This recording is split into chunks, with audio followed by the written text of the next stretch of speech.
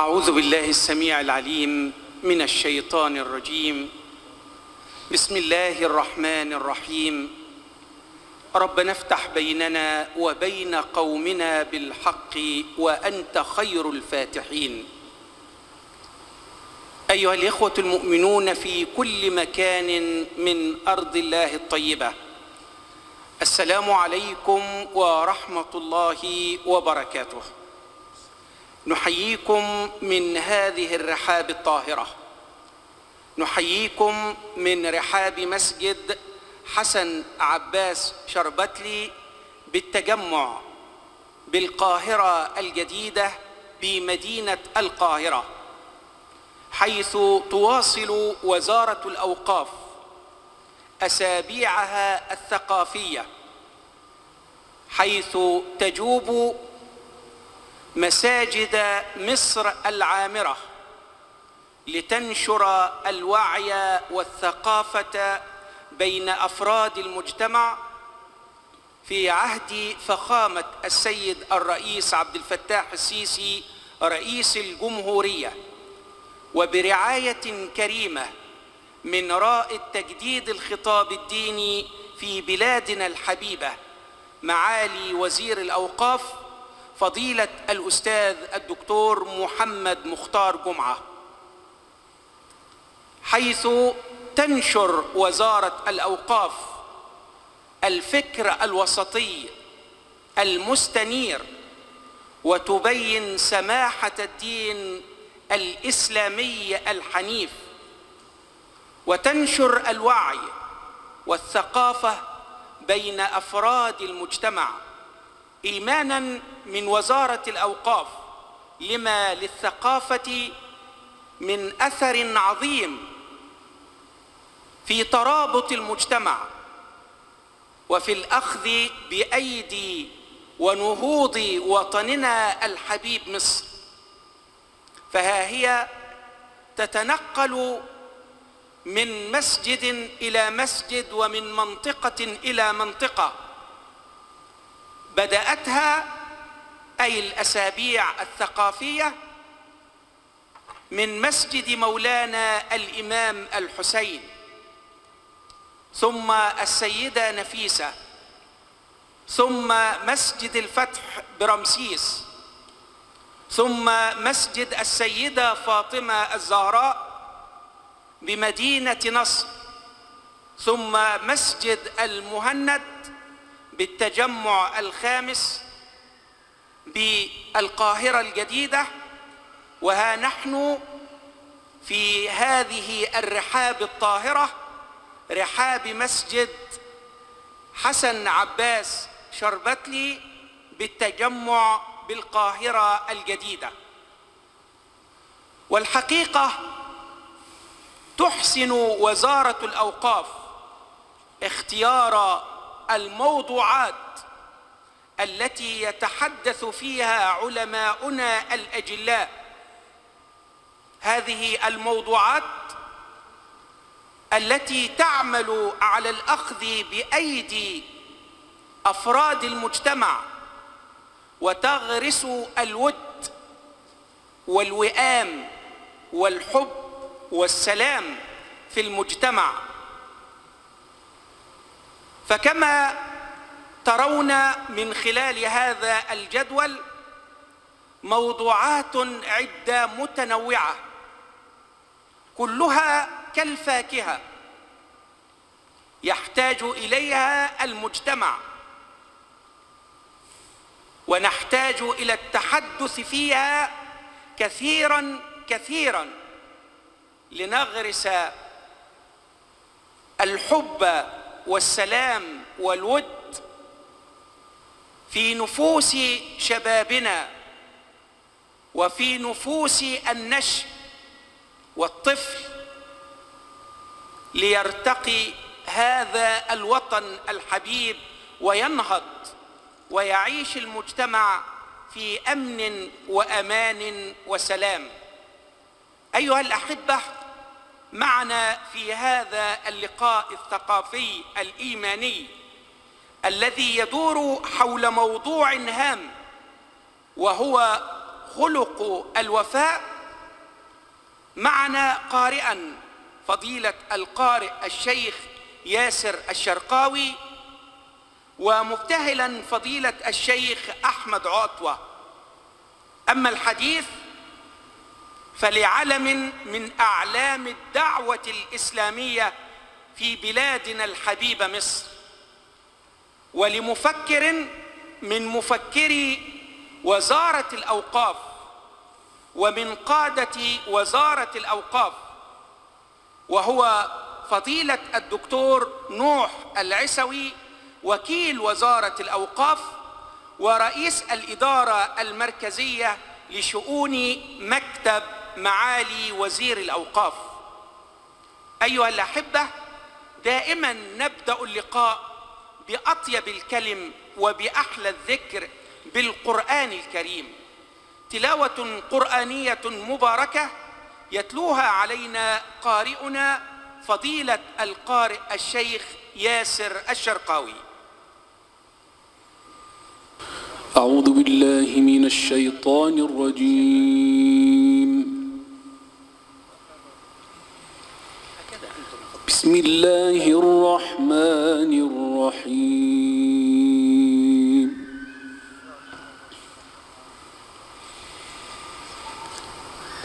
أفمن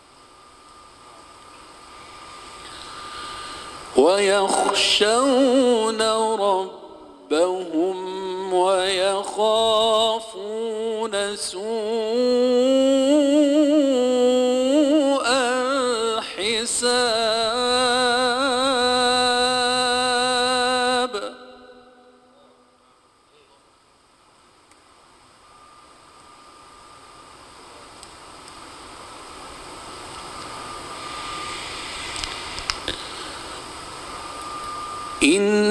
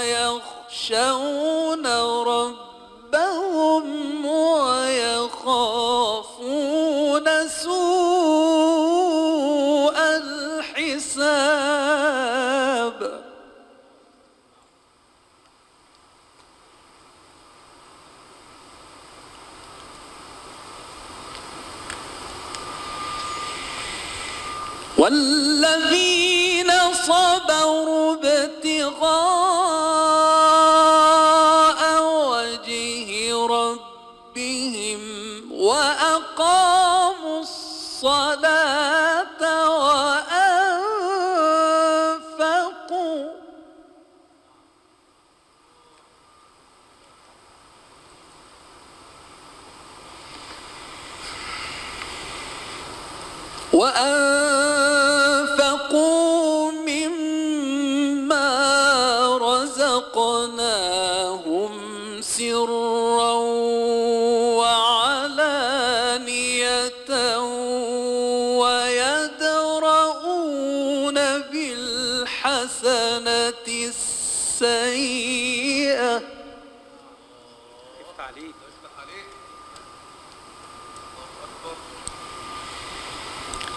أولئك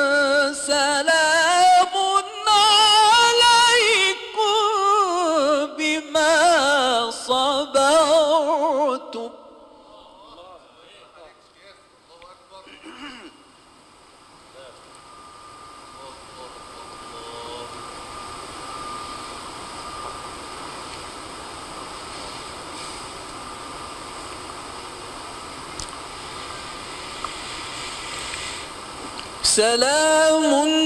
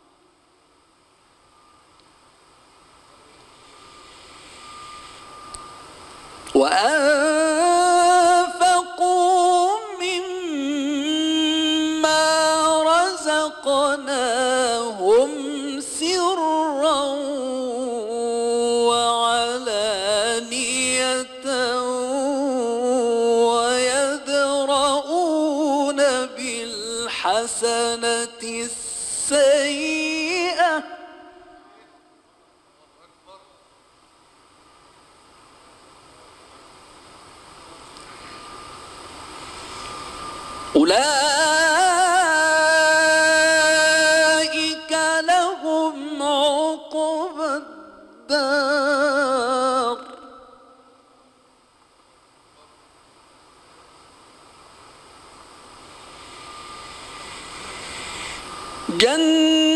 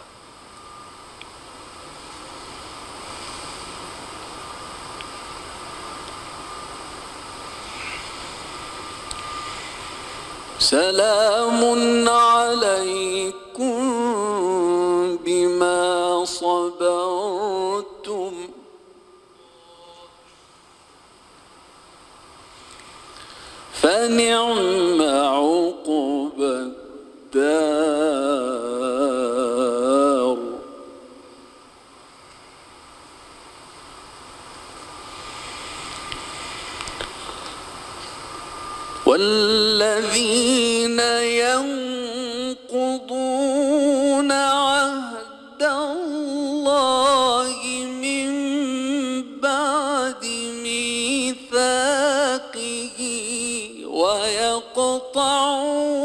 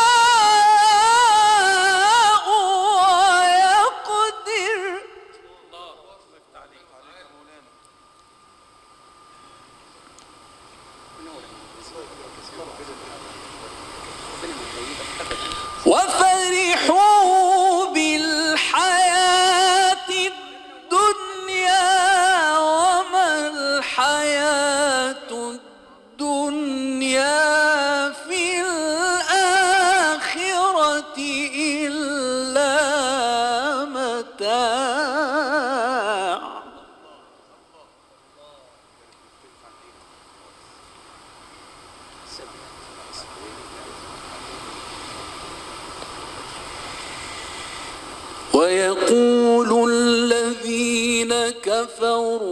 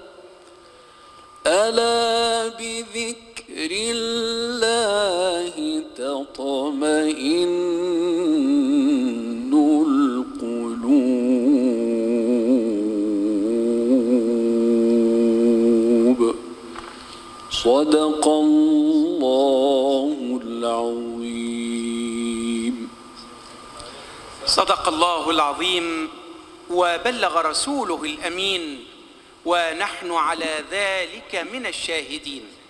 حقا أيها الأحبة إن له لحلاوة وإن عليه لطلاوة وإن أعلاه لمثمر وإن أسفله لمغدق وإنه يعلو ولا يعلى عليه. إنه القرآن الكريم. هكذا استمتعنا وسمعنا إلى هذه التلاوة القرآنية المباركة. تلاها علينا فضيلة القارئ الشيخ ياسر الشرقاوي.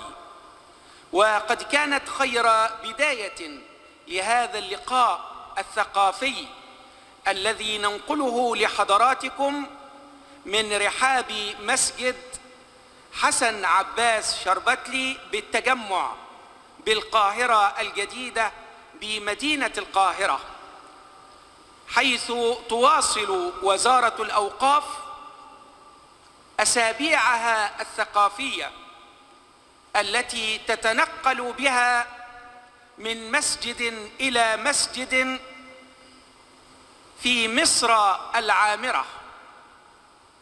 أيها الأحبة يحضر معنا هذا اللقاء كوكبة من علماء وزارة الأوقاف ومن علماء مصر الحبيبة.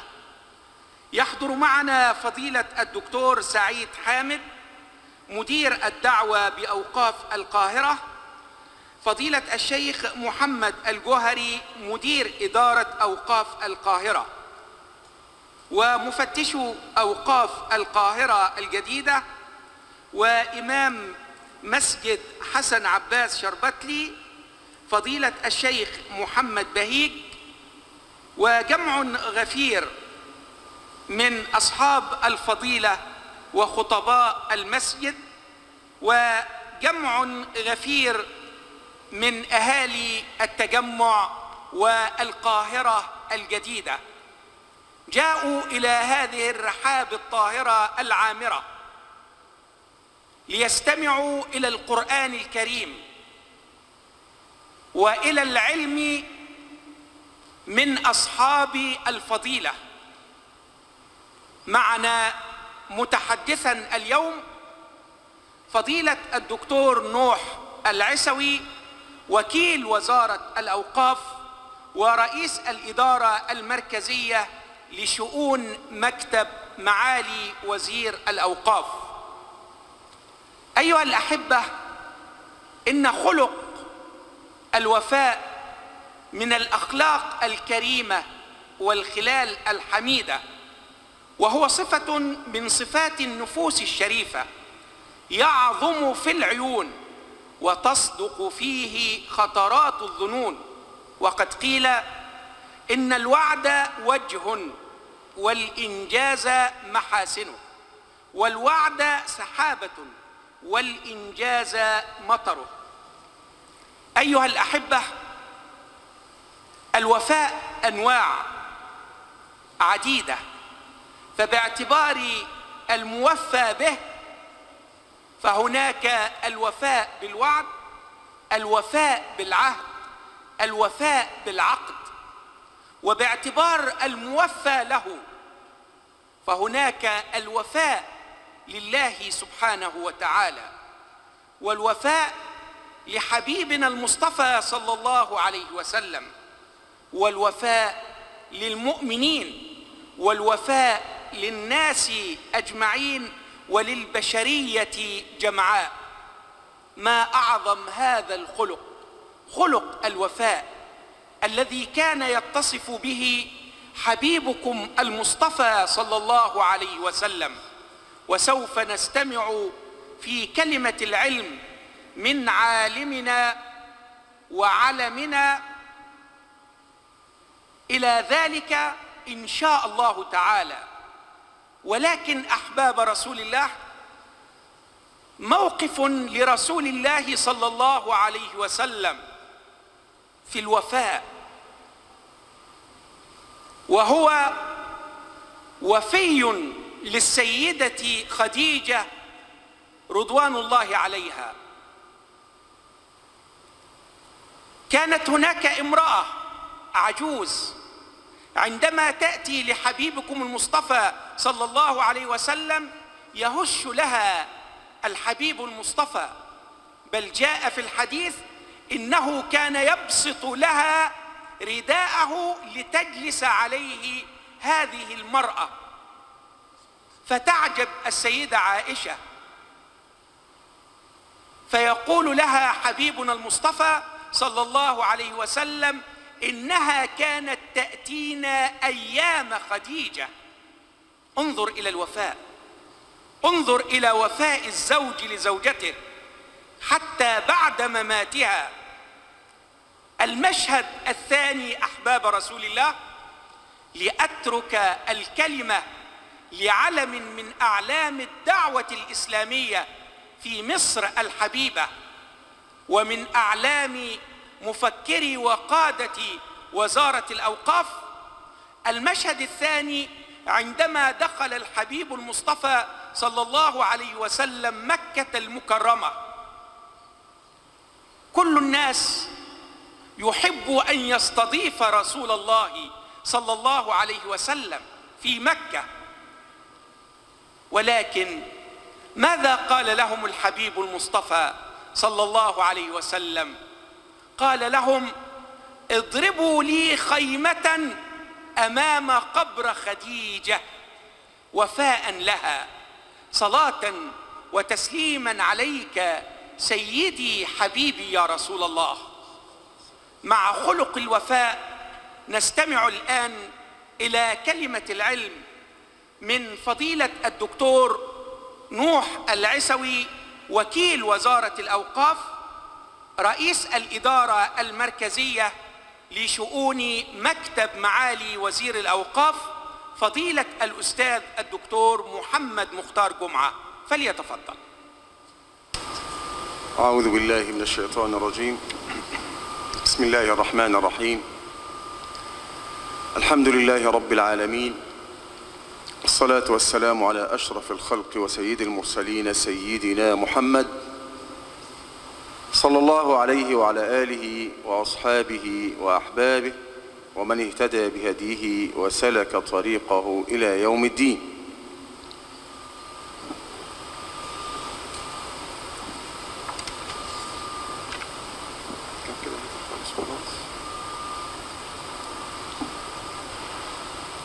سبحانك لا علم لنا إلا ما علمتنا إنك أنت العليم الحكيم. وبعد. خلاص. فأهلا بكم في بيت من بيوت الله عز وجل وفي رحاب آيات من كتاب الله سبحانه وتعالى وأحاديث رسول الله صلى الله عليه وسلم. في البداية نعلم جميعا أن ديننا دين الأخلاق. ونبينا صلى الله عليه وسلم نبي الأخلاق. ورسالة الإسلام رسالة أخلاق. بل إن الغاية من بعثته صلى الله عليه وسلم هي الأخلاق. كما أخبرنا رسولنا صلى الله عليه وسلم بقوله إنما بعثت لأتمم صالح الأخلاق وفي رواية مكارم الأخلاق. ومن عظيم الأخلاق التي حثنا عليها ديننا. وأمرنا بها ربنا سبحانه وتعالى خلق الوفاء. والوفاء معناه التزام. أعطيت إنسانا كلمة لا بد وأن تلتزم بها. حررت عقدا مع غيرك لا بد وأن تحترم هذا العقد. فالوفاء التزام.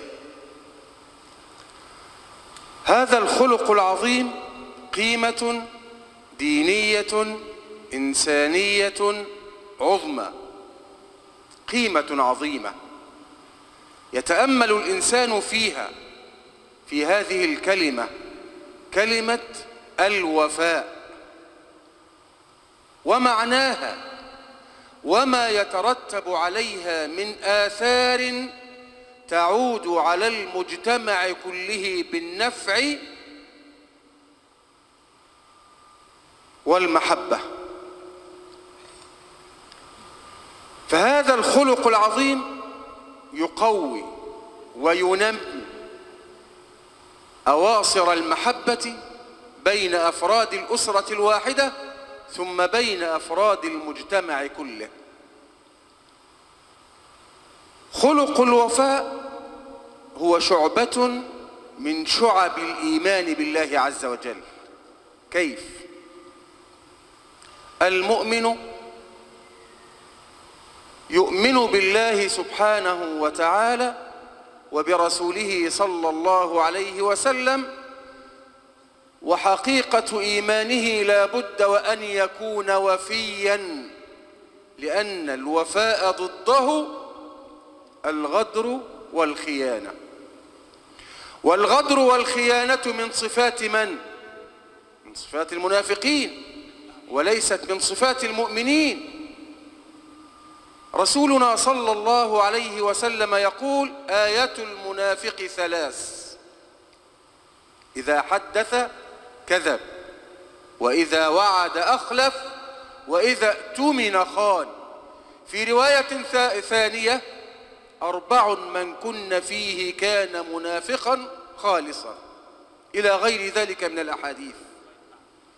نخلص من هذا كله أن المؤمن لا بد وأن يتخلق بهذا الخلق لأن ضده من صفات المنافقين.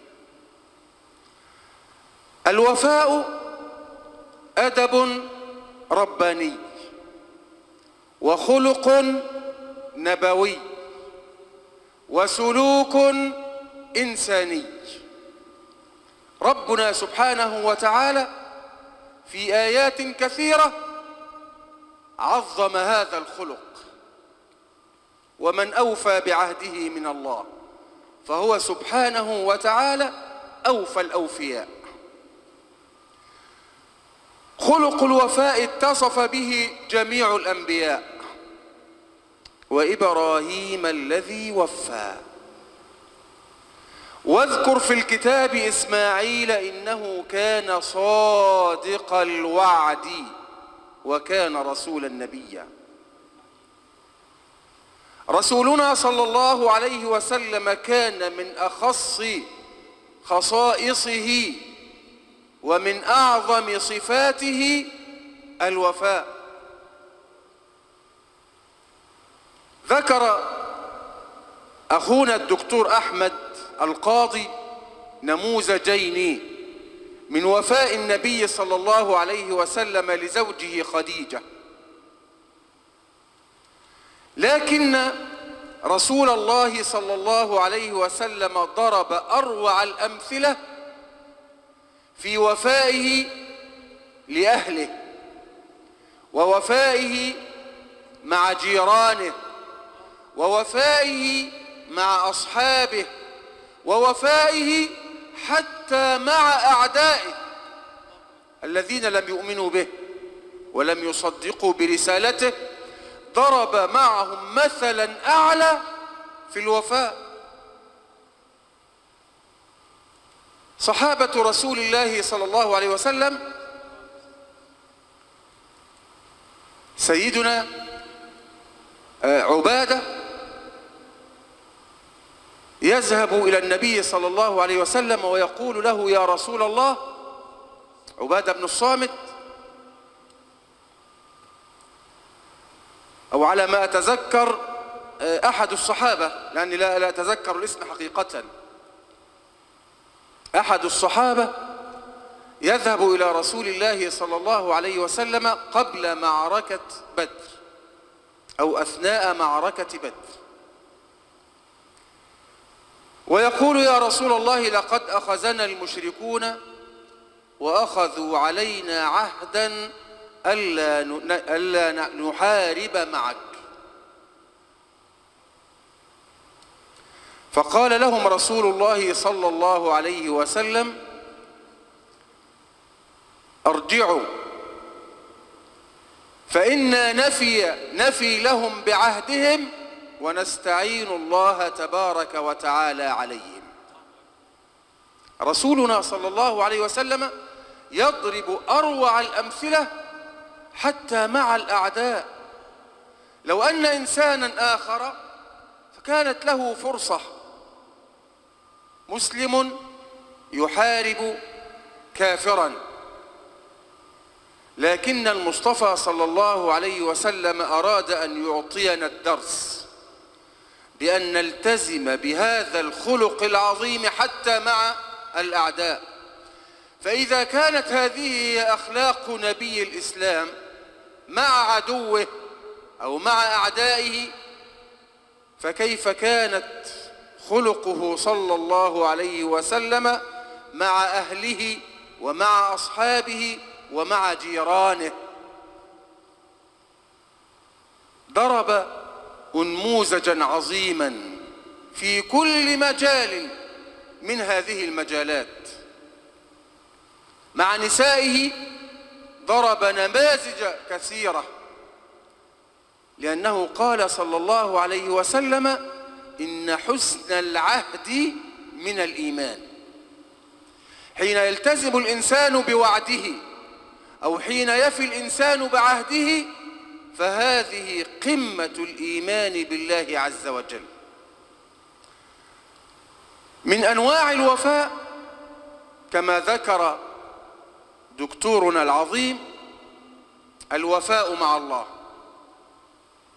والوفاء مع رسول الله صلى الله عليه وسلم والوفاء مع النفس والوفاء مع جميع الناس. الوفاء مع الله لا بد وأن تلتزم بما أمرك الله عز وجل به. وأوفوا بعهدي أوف بعهدكم وإياي فارهبون. لا بد وأن نتقي الله عز وجل في العبادة وفي الطاعة وفي الكلمة. لا بد أن نستعين بهذا الخلق العظيم في كل قول وفي كل عمل. وأوفوا بعهد الله إذا عاهدتم. أمر من الله عز وجل.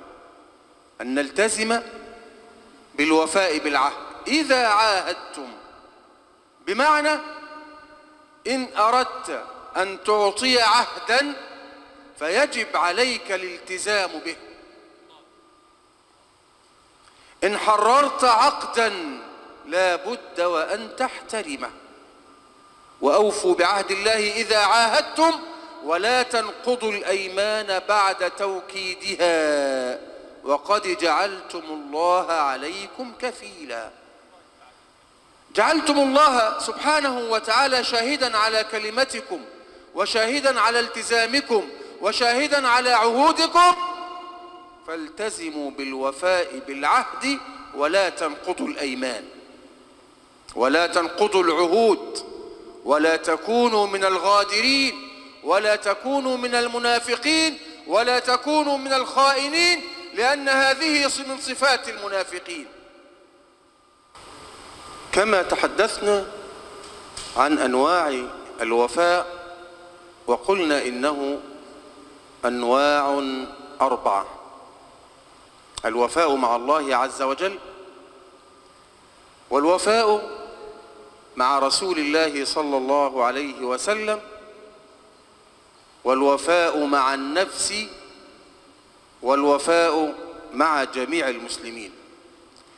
وقلنا إن الوفاء مع الله سبحانه وتعالى معناه أن تخلص العبادة لله عز وجل أن تجتهد في طاعتك وفي عبادتك بإخلاص لله سبحانه وتعالى.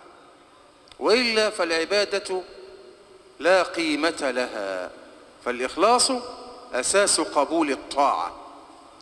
فمن أخلص لله في عبادته وفي طاعته فقد وفى مع ربه.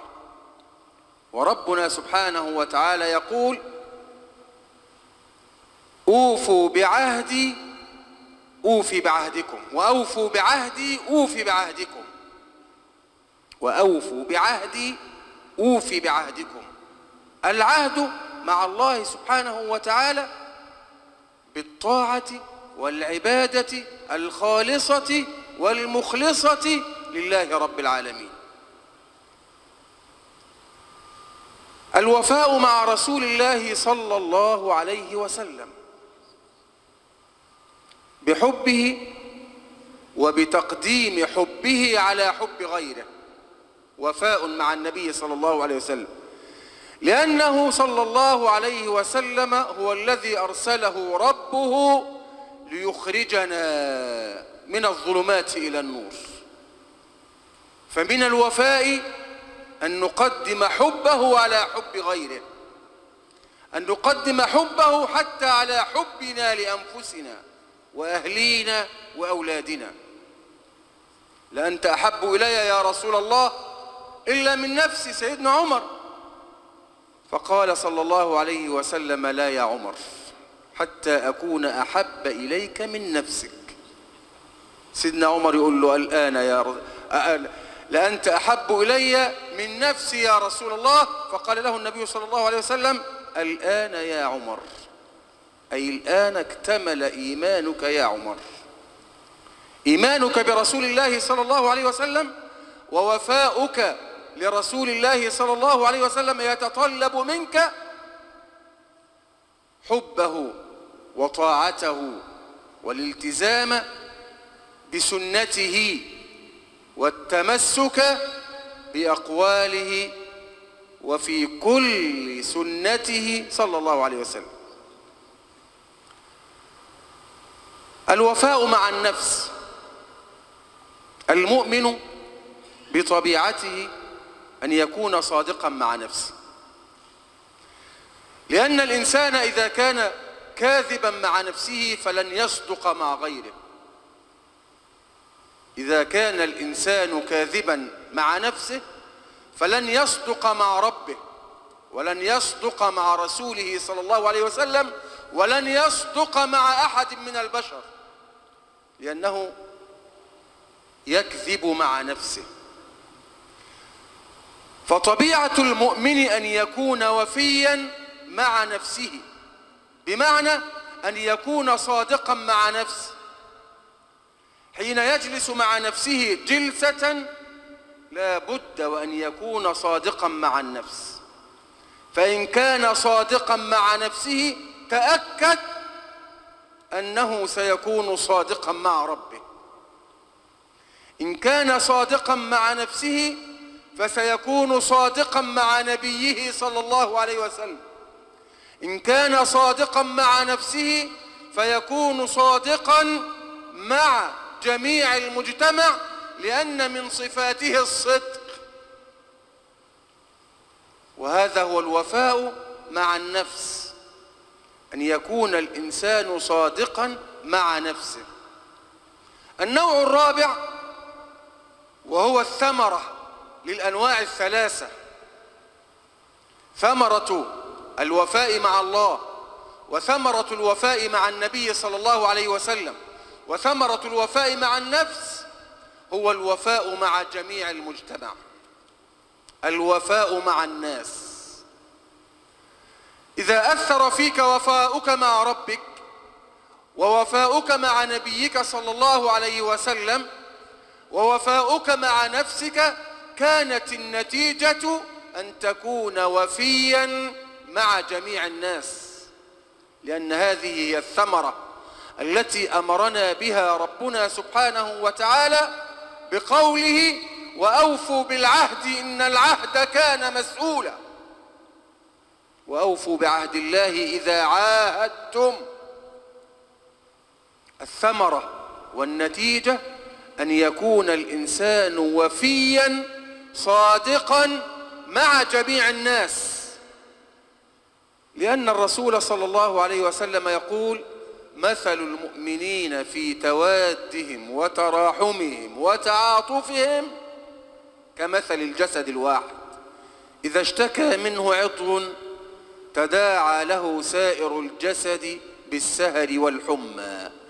فكيف يكون المجتمع متماسكا متحابا متوادا وبينهم خائن أو وبينهم غادر أو وبينه من لم يلتزم بأمر الله عز وجل بالصدق ويلتزم بأمر الله عز وجل بالوفاء.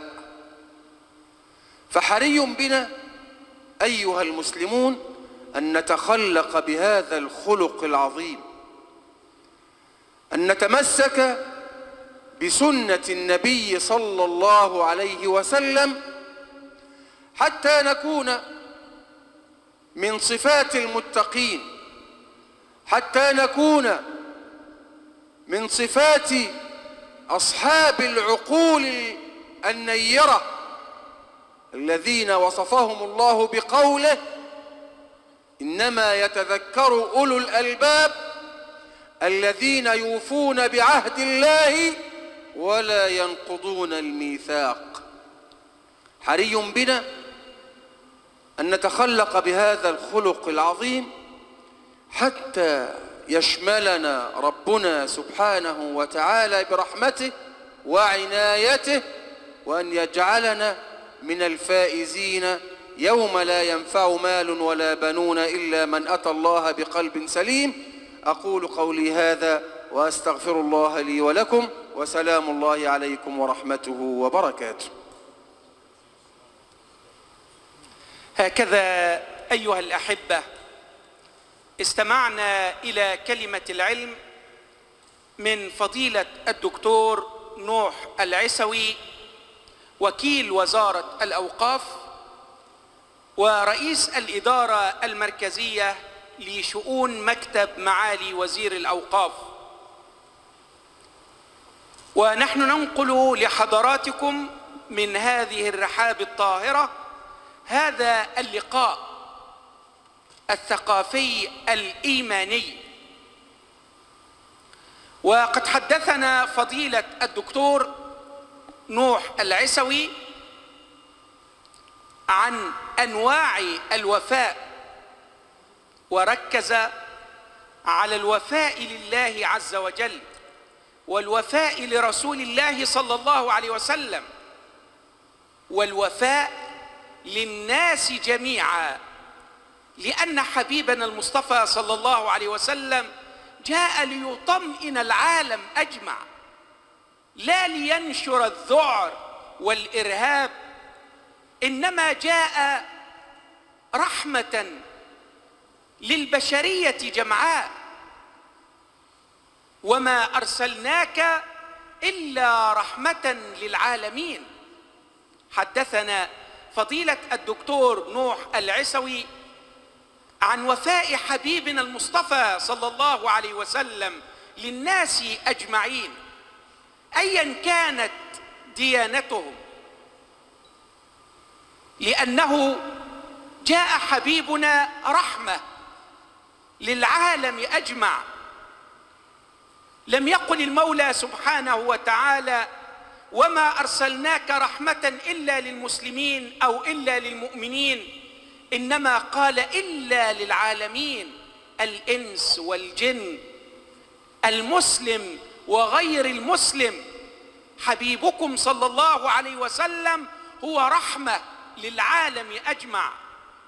فرسالتنا أحباب رسول الله والتي تحرص عليها وزارة الأوقاف تحت رعاية قائدها معالي وزير الأوقاف فضيلة الأستاذ الدكتور محمد مختار جمعة هي نشر الوعي الثقافي ونشر الفكر الوسطي المستنير الحضاري الذي يستمد مادته من كتاب الله ومن سنة رسوله صلى الله عليه وسلم.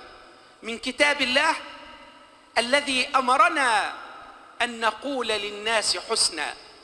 لم يقل وقولوا للمؤمنين حسنا ولا قولوا للمسلمين حسنا. إنما قال سبحانه وتعالى وقولوا للناس حسنا. أمر من الله أن ننشر الوئام وأن ننشر السلام وأن ننشر الحب في العالم أجمع. لا ذعر ولا إرهاب من ديننا الإسلامي الحنيف الذي يدعو إلى كل فضيلة وينهى عن كل رذيله تحية إجلال وتعظيم إلى وزارة الأوقاف والقائمين عليها في حسن اختيار تلك الموضوعات الثقافية التي ما أحوج المجتمع إليها. اليوم كان حديثنا حول خلق الوفاء وكما استمعنا من محدثنا وعالمنا الجليل علم من أعلام الدعوة في بلادنا الحبيبة مصر التي نسأل الله سبحانه وتعالى أن يحفظها بحفظه وأن ينصرها بنصره وأن يرزقها برزقه وأن ينزل عليها الأمن والأمان والسلام والرخاء وعلى سائر بلاد العالمين. حدثنا عالمنا الجليل عن خلق الوفاء وما أحوجنا إلى ذلك الخلق الذي ينشر الحب وينشر الوئام وينشر السلام بين أفراد المجتمع.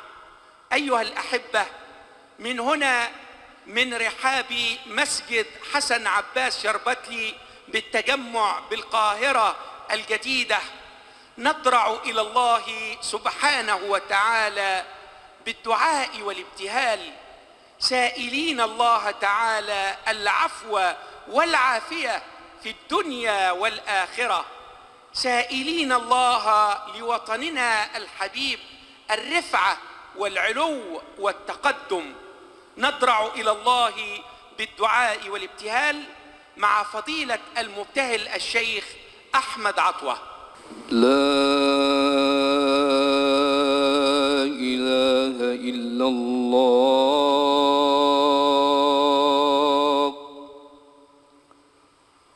وحده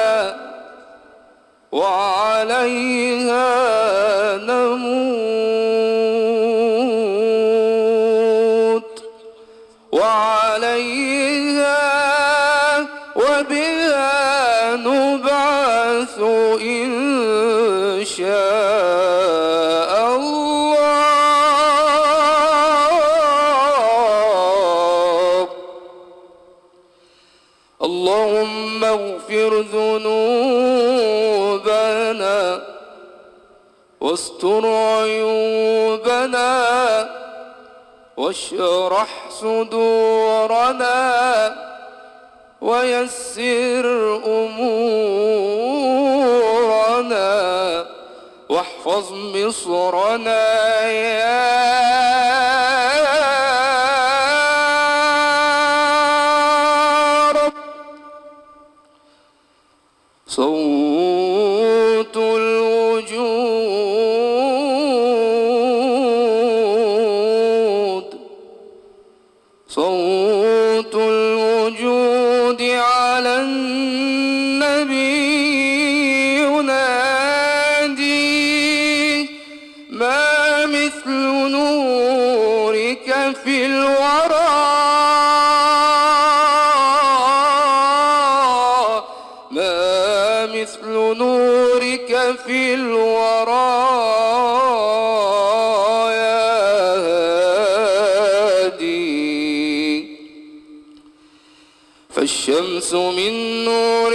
المقام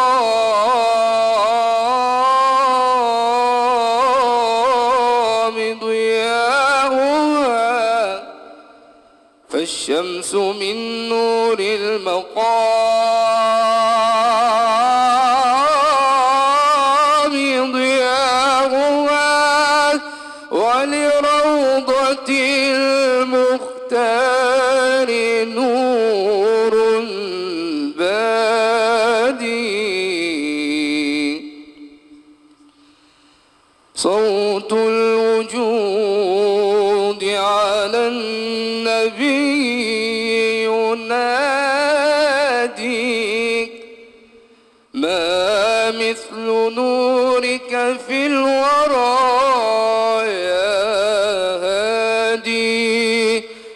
فالشمس من نور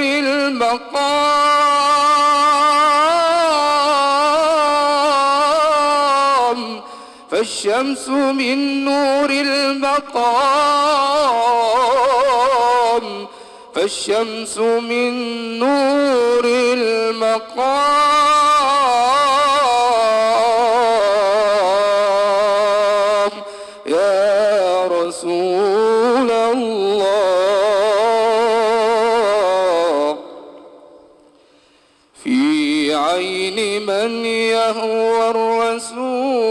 بقلبه في عين من يهوى الرسول بقلبه وصلاته وصلاته في القلب طير شادي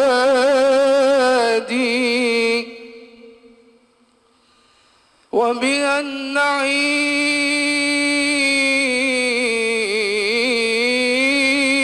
النعيم وبها النعيم نعيش فيه بروحنا ونحس ذكر المصطفى كالزادي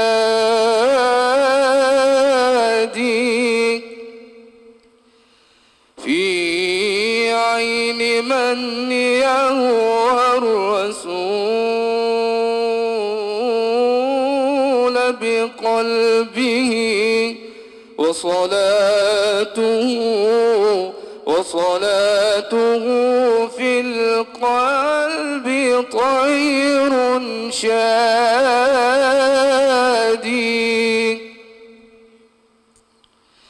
يا رسول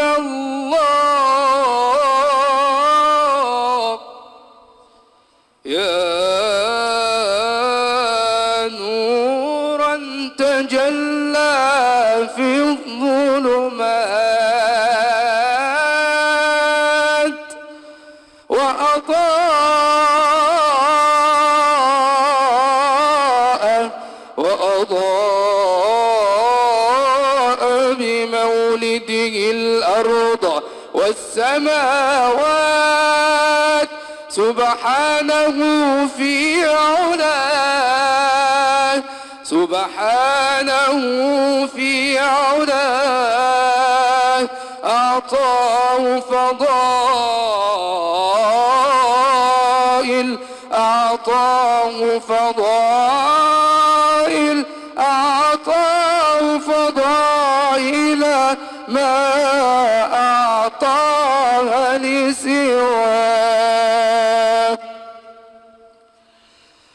سبحانه في علاه.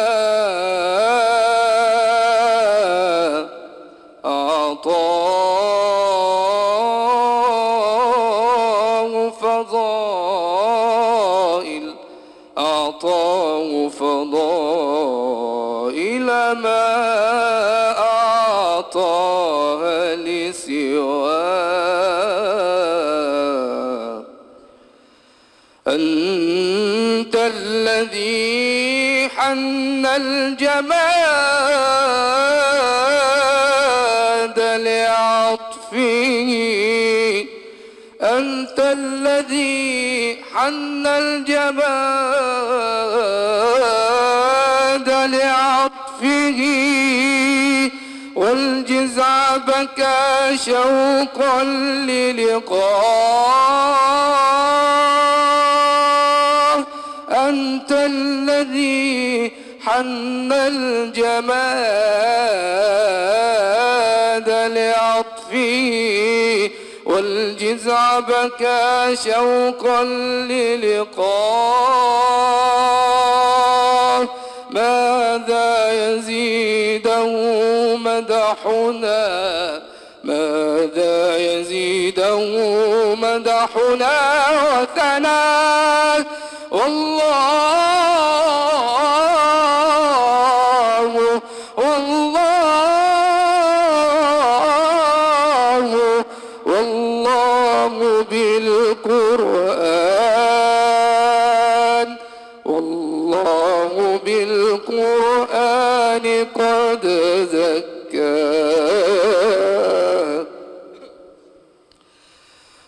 سبحانه في علاه.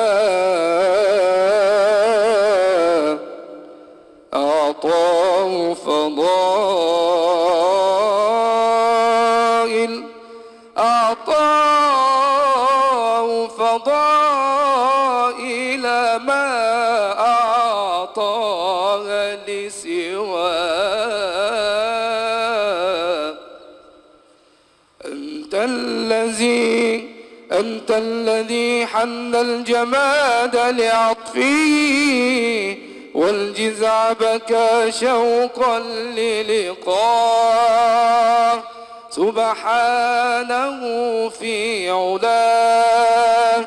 أعطاه فضائل ما أعطاها لسواه. النبي صلوا عليه. النبي صلوا عليه.